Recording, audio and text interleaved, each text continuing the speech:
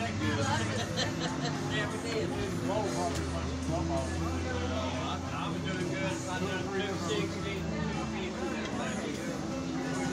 excited to go on slide? Hey, darling, I'm Sandy. Are you Hey, Judy. You too. Oh, you have?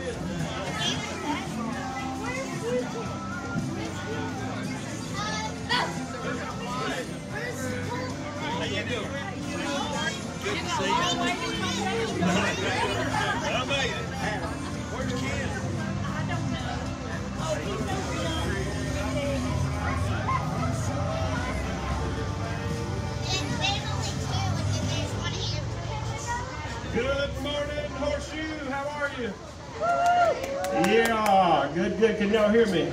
Yes. I can hear it loud and clear, and I wish I couldn't. All right. First thing we're going to do is bring our firemen over. Um, if you guys would make your way on over here, we're going to uh, just give these guys a gift, two, four, six. We miscounted. Uh, but uh, we love our local firemen. They do a great service in our community. Uh, yeah, let's give them a round of applause and a good holler. Amen. So uh, as they're coming over here, if um, let's see, who would hand these off? Yeah, if you would meet them out here at the sidewalk. These are gift cards. Yeah, these firemen coming up here. You can meet them out there in the sunlight. So we just wanted to give these firemen a gift card, and, and we know this ain't a whole lot, but we want to let them know that hey, we love you guys, appreciate your service. So we have we have given them a meal on Horseshoe at Chili's or Applebee's. I don't remember. I didn't get the gift cards, but uh, we're a man short. But I promise you, we'll get by tomorrow and take care of the sixth man. But uh, we love our firemen, love our fire department. We appreciate Mike and the, and the gang there. And uh, so let me let me open this up with a word of prayer. If I get your attention, please. All right, all right. We're going to open up with a word of prayer, and then I'm going to give us some directions because we're, we're a, a condensed service today, a lot different than normal. So we're just going to sing one song, and then I'm going to have a short message. Here's what here's how we want to roll. We want our firemen to eat first. So we're going to, after I pray, we want, we want to convert this area into an open spot for our firemen to be able to sit down at a couple tables and eat because they're going to be spraying our water slide. And we want their bellies full before they get out there hosing us down. So we want our firemen to eat first, and then any visitors that are here, we want them to file through. So we have pre-prepared plates. Hot dog, hamburger, barbecue, they're just going to hand you a takeout plate. And whichever one you want, you sit down and eat. If you want to wait and eat later, then just wait on the firemen to get out here. We're going to slip and slide. We're going to bounce. Here, here's what we do want to do. We want to be safe today. We, to, we don't want to be stupid. So if you brought a busload of kids like I did, we want to stay with our kids and make sure they're not, you know, headbutting, kicking, screaming, all that good stuff. Uh, there's two lanes on this slide, so one at a time. Get out of here. At, uh, two lanes up here, one at a time. And there's a five capacity on the monster truck, and then one at a time on the slip and slide, which is very fun. But if you get two or three people going down knocking heads, it's going to be a problem. So we want to be safe, we want to be smart. So uh, just make sure you take care of your kids and keep an eye on them. Everybody good? All right, and so I'll remind us of how we're going to operate at the end of the service. But let me pray for us, and then you feel free if you want to find yourself a seat in the grass. Um, if you need a mask, hand sanitizer, we have some hand sanitizer here, paper towels here. If you want a mask, I understand that folks are concerned. Uh, we have plenty. Just let somebody know. We'll give you one. And um, like I said, we're just going to spread out and have a good time today. Y'all ready? You glad you're here? Amen. Amen. All right. Let me pray for us, then we're going to uh, play a song, and I want you to sing along with us. We gave Miss Linda and the team the day off, so Chris Tomlin's going to lead us this morning uh, via phone as we sing Jesus Messiah. I think you'll know the song. But let me pray for us. Our firemen can get wherever they want to be, and uh, you get where you want to sit and hang out for the service, and then we'll press on. Father, we love you. We praise you. We thank you, God, for folks that, Lord, find it essential to gather together, to congregate, uh, Lord, to assemble ourselves together. There's something powerful about your people when they come together and they declare your righteousness and they declare your goodness and they declare how just and holy you are. Lord, that's our aim today. Uh, Lord, we want to honor our firemen. We want to have a good time as we send our kids back to school tomorrow, even though it's in a virtual situation. We still want to celebrate them going back. And Lord, send them off on the right foot. And so, Lord, today I'm glad that we can celebrate your design, the family unit. Lord, children and family. And God, I pray today that it would be a day of relaxation, a day that we can just hang out, have fun, and fellowship. And Lord, there's no hurry and no rush. So today I pray that our concerns would melt in your presence. Lord, our preoccupied minds would become clear. And we would understand that we're here to make much of the name of Jesus. Lord, we thank you for giving this opportunity. Thank you for life today. Thank you for a group of people that said, we want to make this work. Lord, I thank you for sending me to a church that is encouraging and better for me than I am for them. Lord, you continue to bless us day after day. I pray, lead us, guide us, direct us. And Lord, I pray that we continue to seek your kingdom first, stand on your word always, and serve for your glory. In Jesus' name, amen. Sing along with us this morning. Can I kill that mic? They don't want to hear me sing.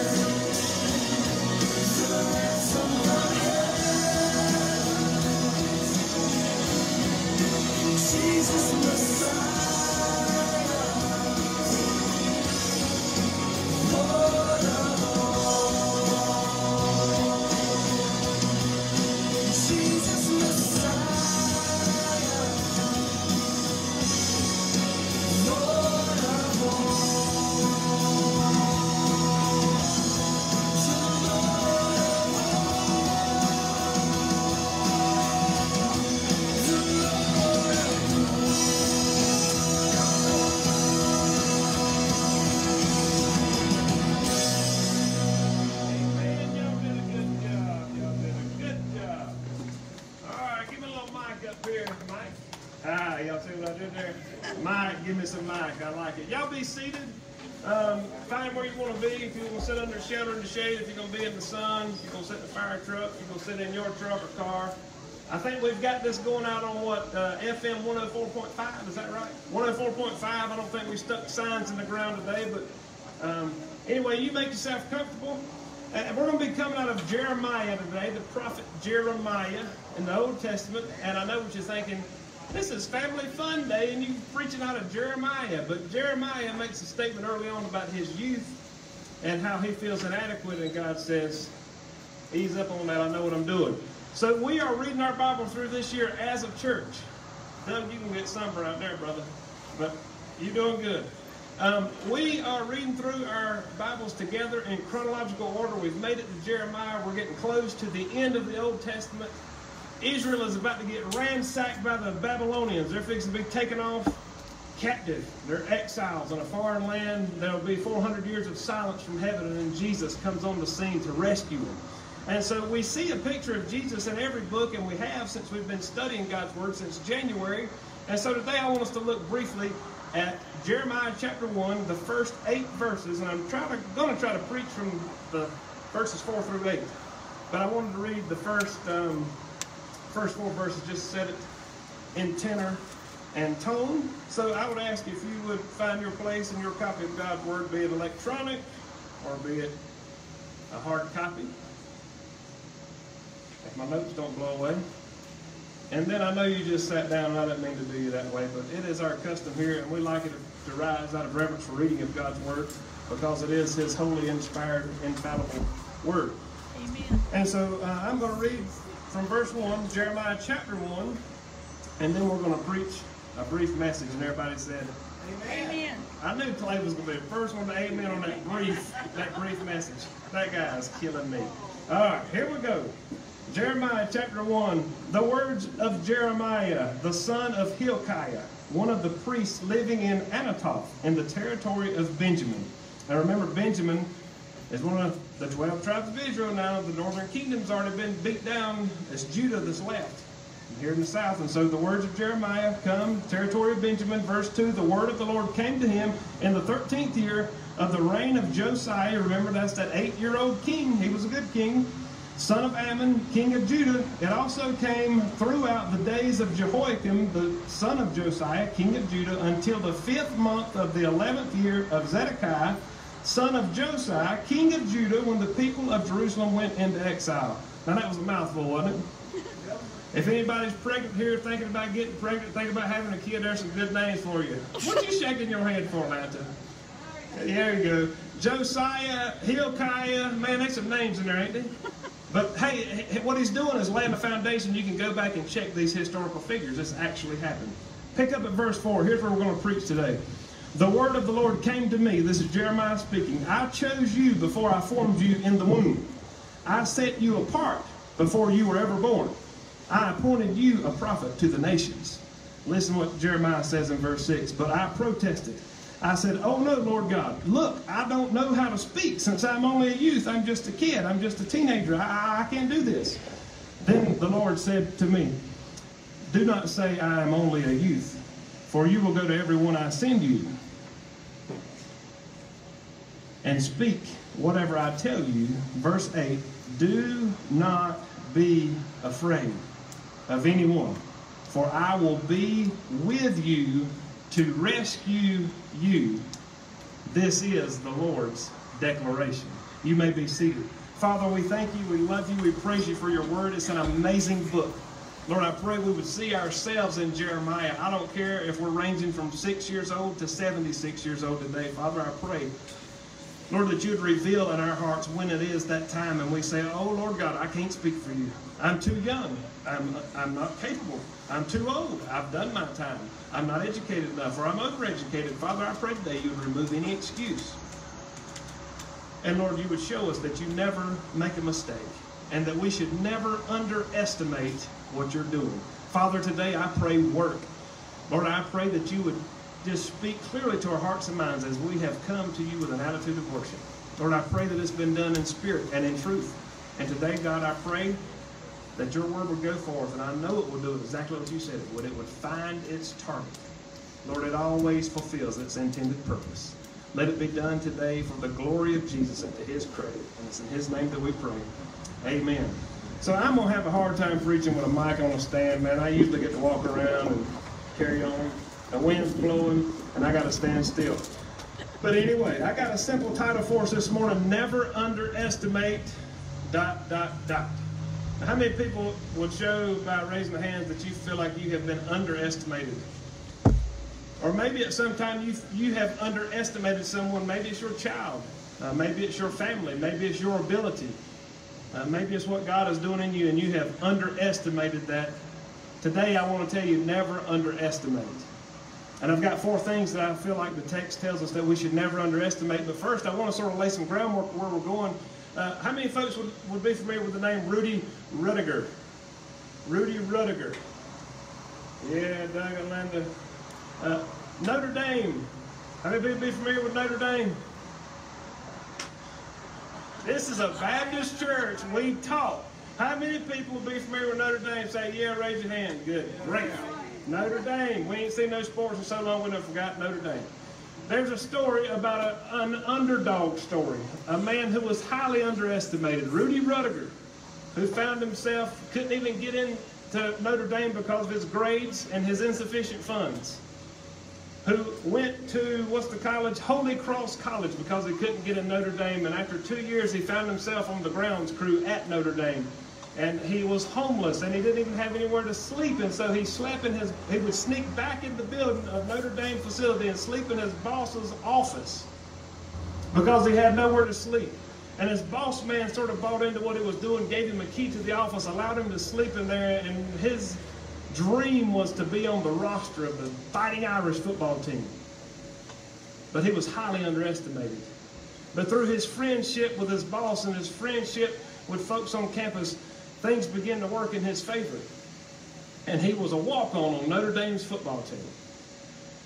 And they let him lead the charge on that particular game. And he led the team on the field, and everybody shouted, hoorah, hooray, because they knew the story behind Rudy Ruettiger. But he still was not fulfilled because he wanted to play. He wanted to at least be on the playing roster.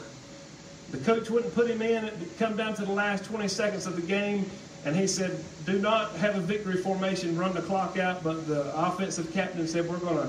We're going to spike the ball, victory formation. That brings defense back on the field, and Rudy was on the defensive squad.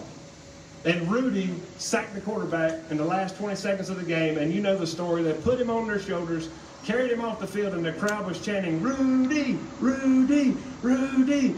If you've not seen it, it's a 93 film. You need to check it out. But he was severely underestimated. Cool Runnings. How many people know the movie Cool Runnings? I'm on a Disney roll this morning.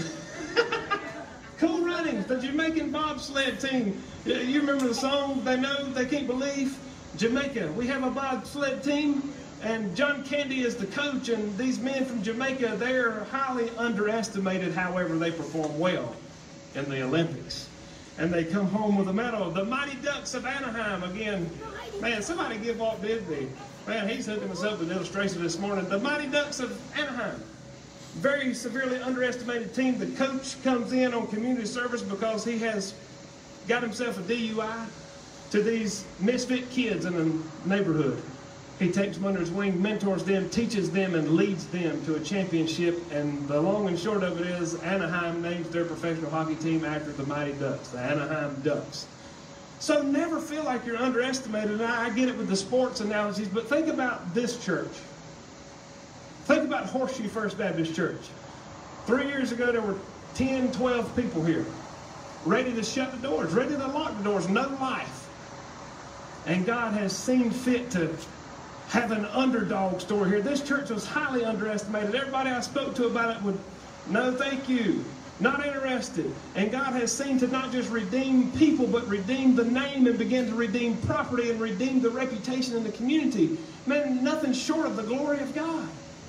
He can do it, so never underestimate what God can do. But how about King Jesus, the reason we're gathered here this morning? Born in a manger, conceived by the Holy Spirit, birthed by, birthed by a virgin. Now, how common is that? Not at all. I don't know what y'all know about anatomy, but I, it never happened in the history of the world but one time. What an underdog. What a Cinderella story. Born in a stable, born around animals, raised in a common way. As a matter of fact, Isaiah said there's nothing beautiful about him, there's nothing great about him, there's nothing attractive about him that we should be drawn to him yet. He came and died for our sins, sent by righteous God to sinful man. What an underdog story. Never underestimate what God is doing. So Jeremiah here tells us never underestimate, number one, a personal encounter with the living God. Did you hear what Jeremiah said? In verse 4, then the word of the Lord came to me, saying, Go. Then the word of the Lord came to me. Now I'm going to be short with this, but Jeremiah was raised in a godly home. He was raised in a priestly home. If you search out Hilkiah, you'll understand that he had a good pedigree. I mean, he was raised up in our vernacular, a good Christian home. I mean, we'd say it this way good Americans, Christian home, we're good people. He was raised in a good home. Here's the problem that's not enough. It's not enough to be raised in a Christian home. It's not enough simply to have some knowledge of God's Word. It's not enough to understand there is a God. It's not enough to say there is a Creator. It's not enough to have intellectual assent. You have to do what Jeremiah has done here and have a personal encounter with the living God. Never underestimate a personal encounter with the living God. You hear on the lips of Jeremiah the, the same message of Amos and Hosea and Isaiah and Micah and Elijah and Elisha, that same message repent, God will restore. Repent, God will restore. And again, it's not enough. Mom and dad's religion is not enough for us. Grandma's deeds are not enough for us. I'll make a statement here God has no grandchildren. It's a personal, a personal experience with the living God. Never underestimate a personal encounter with the living God. Jeremiah would have done nothing apart from God calling him.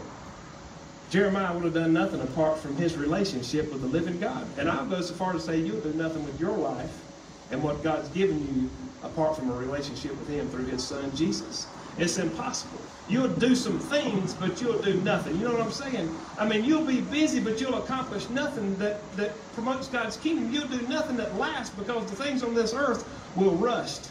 The things on this earth will be eaten by moths. The things on this earth can be destroyed.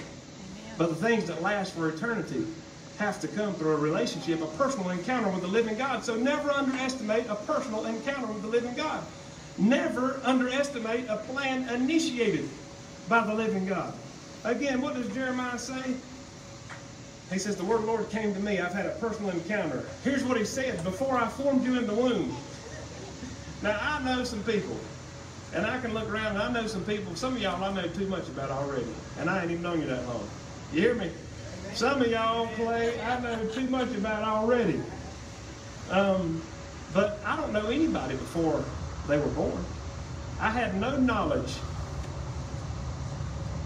of these folks before they were born. I had no knowledge of these folks before they were born. You had no knowledge of me before I was born. But the living God says, I knew you, Jeremiah. I knew you before you were born. I knew you before you were even formed as a fetus in your mother's womb. I knew you. I called you. I had a plan for you. I had a purpose for you. Church, I'm here to give you good news. Kids, I'm here to give you good news. You're going to go off to school or stay home and go to school. But God's got a plan for you. He's got a purpose for you. There's a reason you were born. It's not arbitrary. The parents you were born to. It's not just happenstance that you landed in the family you're in and the location that you're in. He's in control. It's not just willy-nilly and we hope things work out all right. God is intentional.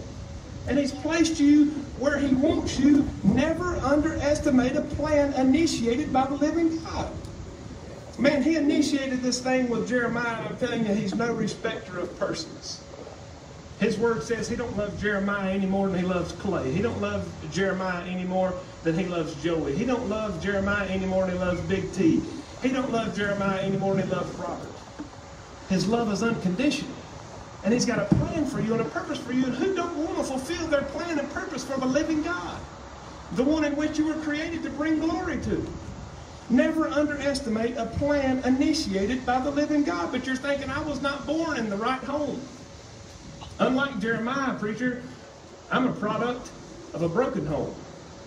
I mean, mom checked out when I was a baby. Dad checked out. I was raised by the state. I'm not even supposed to be here. I was an accident. My mom told me she don't even want me. My dad told me to get out of his life. You don't understand, preacher. I wasn't born in a home like Jeremiah. I understand that. So does God, but He still has a plan for you. He still has a purpose for you. You're not an accident. You can't be an accident because He knew you before you were, he, you were ever formed in the womb. And if you believe God's word that He loves you no less than loves Jeremiah, then He'll use you no less than He used Jeremiah. We make ourselves available. Never underestimate a plan initiated by the living God. Do you believe God is more powerful than anything? Amen. Do you believe that God knows everything? Amen. Do you believe that God is always around? He's always present. Amen. Then never underestimate a plan on your life initiated by God. And that plan starts at home. And that plan includes your workplace. And that plan includes your colleagues. And that, that plan includes folks in your circle of influence. And you say, Well, I'm not a preacher. Well, I wasn't a preacher for, I ain't been a preacher long. But God's got a plan for everybody. Not everybody's a preacher. But he's got a plan for your life. Not everybody's a prophet like Jeremiah, but he has a plan. Never underestimate a plan initiated by the living God. Never underestimate, and here's where you kids are to shout amen, an unimpressive youth called by God. Never underestimate an unimpressive youth called by God. And you can just, after unimpressive, you can put your name there because Jeremiah says, Whoa, I'm just a young man, I'm just a youth. Hey, God, God can use the young and old alike.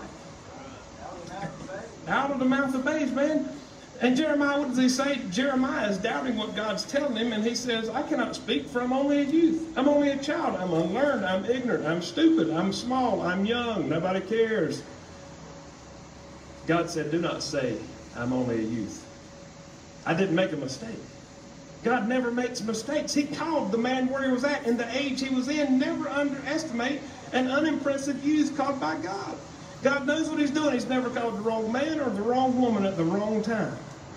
And Jeremiah's protest was true. He was only a youth. He was just a kid, but it was irrelevant. The same with our excuses. But God, I can't. But God, I'm not a good speaker. But God, I'm not a good teacher. But God, I'm not a good leader. But God, but God, but God, but God, but God. And we put all those excuses on the table.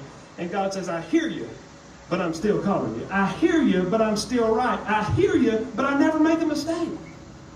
Man, never underestimate a youth, an unimpressive youth caught by God. And you say, why do you say unimpressive? Because Jeremiah was highly unimpressive. And, and I say this quite often here. You ain't nothing special either. And neither am I. We're, we're common folk. I, I mean, but God loves us and God is using us. And, and what did, who did he pick to turn the world upside down? He had 12 men surrounding him, right? Apostles. And one of them was a stinking devil, Judas. But what of those apostles? What, who did he choose? The creme de la creme, the rabbis and the religious teachers? Absolutely not. A cheating, thieving tax collector named Matthew. Some rough and tough cussing fishermen, Peter, John, James. Man, he picked the very unimpressive to do something very impressive with. And long as gone is this thought of I have to be the religious elite for God to use me. Long gone should be this thought process of God can't use me because I'm a kid. I don't know enough. I'm not experienced enough. Long should be the, gone this thought of I'm too old for God to use me. I've already pulled my time. I've done all I can do. No, God has called you and is using you and will use you if you will make yourself available.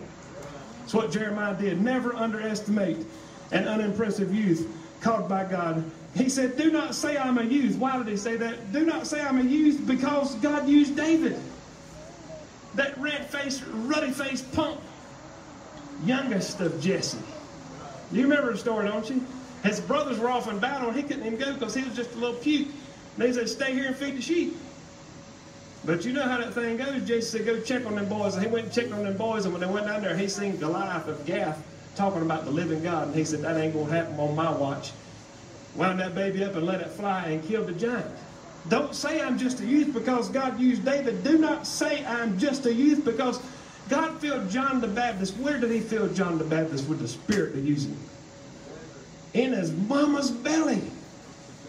When Jesus' conception was announced, John the Baptist leapt in the womb. there you go. Her baby leapt because he heard about King Jesus coming to earth. Man, never underestimate. You're never too young. Do not say I'm a youth because God used Timothy to pastor a church. Do not say I'm just a youth because God used a man named Hudson Taylor at 17 years old to shake China with the gospel of Jesus Christ. Do not say I'm just a youth. I mean, real close to home, God used a young man by the name of Billy Graham and Youth for Christ to make an impact on the world for the gospel of Jesus Christ. Never say I'm just a youth. Never underestimate the unimpressive people God chooses to use. He's never made a mistake. Last thing, never underestimate the continual presence of the Lord. And here's where it really just comes home. Do not say I'm a youth, for you shall go to who I tell you to go, and whatever I tell you to say, you shall say it. Now, verse 8, listen. Do not be afraid of their faces, for I am with you to deliver you. Or other translations say to rescue you. How many times do we hear in God's Word, oh, Old and New Testaments alike? Do not fear. Do not fear. Do not fear. Do not fear. Old Testament, do not fear, I'm with you. Do not fear, I'm with you. Do not fear, I'm with you. The announcement of Jesus' birth. What was the first thing the angel told the shepherds? Do not be afraid. Do not fear. He's here. Do not be afraid.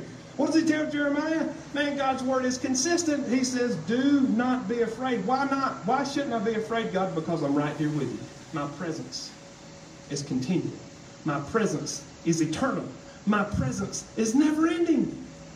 He's not here today and gone tomorrow. He's not here when you're doing the right things and gone when you're doing the wrong things. God is here forever. He's eternal. He was here before you were here, and He's going to be here long after you're gone. God says, My presence is continual. Here he, he speaks to, to Jeremiah and he speaks with encouragement, but he also speaks with persuasion. And Jeremiah says, I can't go. God says, Oh, you can and you will go. He persuades him, he, he pushes him. Don't worry about your age. Just go where I tell you to go. Go to who I tell you to go and say what I tell you to say. And he had to know Jeremiah's heart and understand that Jeremiah was full of fear because he said, Do not be afraid. Do not be afraid. Don't even look at their faces. Don't pay attention to their faces. I know they're not going to hear your message. You're going to preach and not have a single convert, but I'm with you. I will deliver you. I will rescue you. And it's funny here in Jeremiah chapter 1. Now, we've been reading Jeremiah for about a week and a half now. But in Jeremiah 1 here, dude can't talk. Oh, God, I can't go. I'm just a youth. I'm unlearned. I can't go. Fast forward to Jeremiah chapter 20, what does it say? I can't shut up. It's like a fire shut my bones. I can't stop. I can't quit. I can't shut up. I can't be quiet. And Jeremiah goes from, oh, I can't speak to I can't shut up. And God has done a tremendous work in his life because he never underestimated the continual presence of not a dead God, not a pagan God, not an idol God, but the living God. He never underestimates the presence of the living God. He says, Listen, I'm not just going to send you as an ambassador. Now, how many of y'all know we have ambassadors around the world for the United States of America? And what do we do? We send them out. But who do we send them with? We send them out ourselves. But God says, the living God says, the controller of all things says, I'm going to send you out as an ambassador for me. Here's the good news you're not going by yourself. I'm going with you. I'll be there with you. I'll never leave you. I'll never forsake you. I'll take care of the details. Just obey me. Or as the old hymn says, trust and obey. I will go with you. He says, I'll be beside you. I will empower you. I will protect you. I will keep you. I will encourage you. And I will never, ever leave you. And I am calling you to a tough task, Jeremiah. I am calling you to a hard work, Jeremiah. But I'm going with you. I'm sending you to boot camp. Anybody here been to boot camp, other Mr. Johnson, Doug, Robert? Boot camp fun. Did your mama go with you? Yep. Daddy go with you? Yep. How'd you go? By yourself. When you go to boot camp, baby, you go right by yourself. But God says, I'm sending you to boot camp, Jeremiah, but I'm going with you. Man, that's a good father, ain't it? He sends them to boot camp, but he goes with them. He says, Hey, man, I'm sending you out on the front lines, but you're not deserted. I'm going with you. I'm sending you right into the heat of battle, but I will be there with you. New Testament, I'm sending you out like sheep amongst wolves. and they will bite. I'm sending you out like sheep amongst wolves. But I'll never leave you. I'll never forsake you. I'm right there with you. When all hell is breaking loose at home, I'm right there with you. When your wife walks out on you, I'm right there with you. When your children stray from you, I'm right there with you. When you really mess up, I'm right there with you. When you fly off the handle and lose your temper, I'm right there with you. When you're reading your Bible, I'm right there with you. When you're at work, I'm with you. When you're on the interstate, I'm with you. I am with you, Amen. he says. Man, never underestimate a personal encounter with the living God. Never underestimate a plan initiated by the living God. Never underestimate an unimpressive person God calls. Never underestimate the continual presence of the living God. Now, you said, Preacher, we see Jesus in all of Scripture. And you're a Christ centered preacher. I certainly am. Listen to me. Jeremiah was a weeping prophet. I, I pick and just josh around with Jeremiah when I'm reading, and I say he was a crybaby prophet. He's always crying. But he was crying for right reason. He was crying over the sin of Israel. He was crying over, he was lamenting, weeping over sin. But listen, Jeremiah wept over a city, but Jesus wept over sinners. Jeremiah preached judgment to his people. Jesus is the judge of his people. Jeremiah's heart was broken. Jesus' body was broken. Jeremiah lamented over the people of God and their sin. Jesus laid down his life for their sin. Jeremiah had no converts. Jesus has changed the world. Jeremiah was stoned to death by his fellow man. Jesus was hanged on the cross by his fellow man. Jeremiah died, but I'm here to tell you today, King Jesus rose from the dead, and he's alive and well. So in the book of Jeremiah, man, we see that youthful heart. And kids, I'm telling you, you're never too young for God to use you. Older folks, never too old. Middle-aged folks, never too insignificant. God's got a plan for you. He loves you. Never underestimate what God can do. And we think Rudy and the Mighty Ducks and all of those underdog stories, cool runnings, all that stuff, we think all that stuff is really neat, and it is. And everybody loves a good underdog story. Everybody loves a good Cinderella story. But I'm telling you, Jesus is the best, most powerful, and all-sufficient underdog of all time. And if you cooperate with him, have a personal encounter with him and a relationship with him, you're on his team. Set up for success, set to win. And so, folks, I hope you learned something from Jeremiah. Here's our invitation today because, again, I don't want you to come kneeling in our creeping blue cypress. Um, but I'm going to close in a word of prayer. I'm going to be on the property all day. If you have a question about something I said and you say, well, I don't understand that, preacher, talk to me let me explain that. Or maybe you say, look, I, I don't understand that God who loves me even when I'm doing wrong, who loves me when I mess up, who loves me when I'm doing right. I, all I know is this distant deity who I must make happy or he's going to reach down here and snuff my little life out. Talk to me. I want to show you the living God of the Bible who loves you and died for you, who gave all he has for you. Or today maybe you say, man, y'all are a crazy crew here and I can't believe y'all are outside and got water slides and monster trucks and food and all that set up. But I love what God's doing here, and I want to join arm in arm with this church going forward and carrying the gospel to the Horseshoe community. Come talk to me today. Find me somewhere on the property. I'll tell you what church membership looks like here and how we handle that. I love you. Let me remind you before I pray, and this will serve as the blessing. Want our firemen eat first and give them an opportunity to eat before we send our kids to the water slide. After they eat and our visitors eat, it's a free for all. You come up and get you a plate. We'll eat till it's gone. We'll be happy we had some. And uh, again, be safe on these slides. We're going to try to have adults uh, strategically placed to make sure children aren't doing crazy things. But try to keep an eye on your kid and observe the one or two at a time, one at a time on the slip and slide, and let's be safe and have fun. Y'all ready to have some family fun together before we go back to school tomorrow? Y'all ready? There's six old people ready to have fun, and we got 59 kids out here. I said, Are y'all ready to have some fun and fellowship together? Yeah. Amen. It's okay to talk and be happy at God's house. Amen. Man, y'all get real. All right, it's 20 minutes to 12. Somebody write that down. That'll never happen again. Never. I'll make sure of it, Clay. I like to go to 20 after 12, but I had mercy on y'all today. Let me pray for us. Our firemen, y'all file on in here. We'll feed you, take care of you, love on you. Let's have a good time. Father, we love you. We praise you. We thank you for sending Jesus. Had it not been for Jesus, we wouldn't be here. Had it not been for the old rugged cross, Lord, we'd just be sinners on our way to a devil's hell. Lord God, we thank you for making a sacrifice. Lord, we understand something had to die because of my wrongdoing and our wrongdoing. Someone had to die in our place, and that was Jesus, the fulfillment of every sacrifice we've ever seen in your word. Lord, the fulfillment of the law that we cannot uphold. Thank you for that grace and that mercy, Lord, for we need it day in and day out. Or as the Apostle Paul said, Lord, we are the chief of sinners. Oh God, because we see our sinfulness, we lean on you because we need you. And without you, we could and we would be nothing. Thank you, God, for giving us life.